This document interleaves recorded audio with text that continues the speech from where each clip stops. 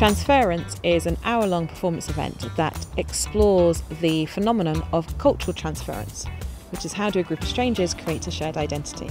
It was run as a living lab, and so it was creating a, a research framework that allowed us to explore the impact of music lyrics and sounds on members of the public's exploration of public space.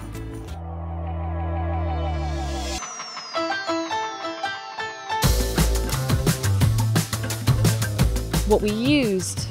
was the instructions and the influences and the rhythm of music and changing coloured lights to influence the group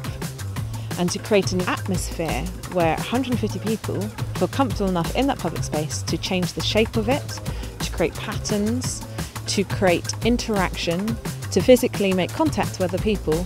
and in the long run end up leading a self-led ceilidh create an environment from the research point of view where people were able to wear the biometrics, where we could do emotional tracking in the space,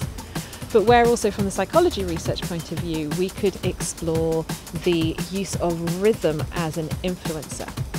We're hoping from this research we'll be able to put together some papers which actually then really explore that and can be used to look at urban design and looking at the changing of the infrastructure that's built into public environments so they're more adaptable, more playful and more socially enabling.